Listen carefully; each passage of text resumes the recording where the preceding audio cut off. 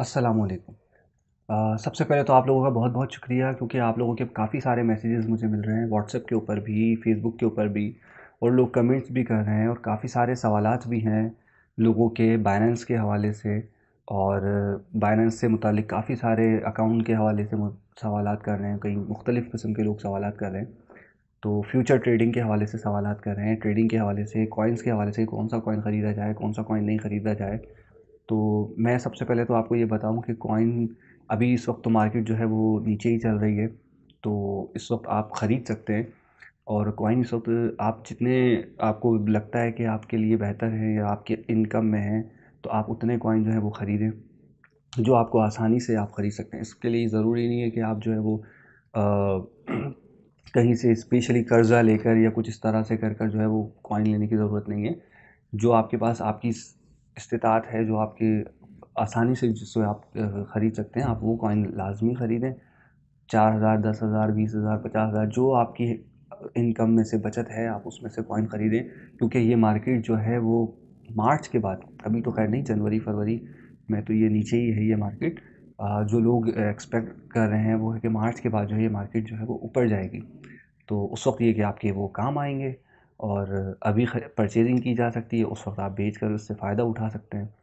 बाकी के long term के लिए अगर आपने उठा करके रखे हैं कॉइन्स तो ये तो बहुत ही अच्छा होगा, क्योंकि 2022 के मिड में और 2022 के एंड तक इसके रेट काफ़ी ऊपर होंगे। 2023 में ये बहुत ज़्यादा जो लोगों की एक्सपेक्टेशंस हैं या जो इसकी प्रिडिक्शंस हैं, उसके मुताबिक ये बहुत ऊपर जाने वाली मार्केट है। अच्छा पाँच लोग सवाल कर रहे हैं कि उनके जो अकाउंट है वो लॉगिन करते हैं तो वो लॉगिन नहीं हो रहा होता। वो यूज़र नेम और आईडी या पासवर्ड का जो है वो इनवैलिड दे रहा होता है।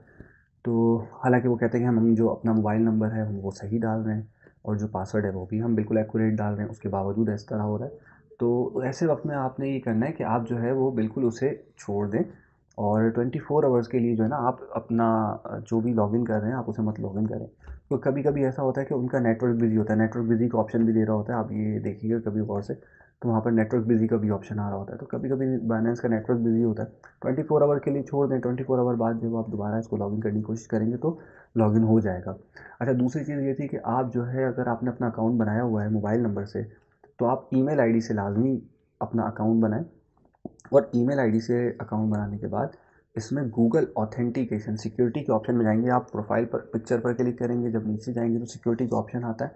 वहाँ पर चार ऑप्शन देता है, जिसमें से रिकमेंड कर रहा होता है कि गूगल ऑथेंटिकेटर डाउनलोड करें या बाइनेंस ऑथेंटिकेटर डाउनलोड करें। तो आप जो है वो गूगल ऑथेंटिकेटर कर लें या बाइनेंस ऑथेंटिकेटर कर लें। गूगल ऑथेंटिकेटर भी बेस्ट बेस्ट है। तो गूगल ऑथेंटिकेटर आप लाजमी डाउनलोड कर लें। और उस वो आपकी आईडी से कनेक्ट होगा तो या इस तरह ये होगा कि जब भी आप कभी लॉगिन करेंगे तो वो सबसे पहले गूगल ऑथेंटिकेटर की वेरिफिकेशन मांगेगा। वहाँ पर पासवर्ड आएगा, वो पासवर्ड आपने तीस सेकंड का वक्त होता है, वो तीस सेकंड के अंदर आपने वो पासवर्ड वहाँ डालना होता है, वरना वो पासवर्ड एक्सपायर होता है, फिर नया पासवर्ड जनरेट होता है। तो इस तरह आपका अकाउंट जो है वो सिक्योर हो जाएगा।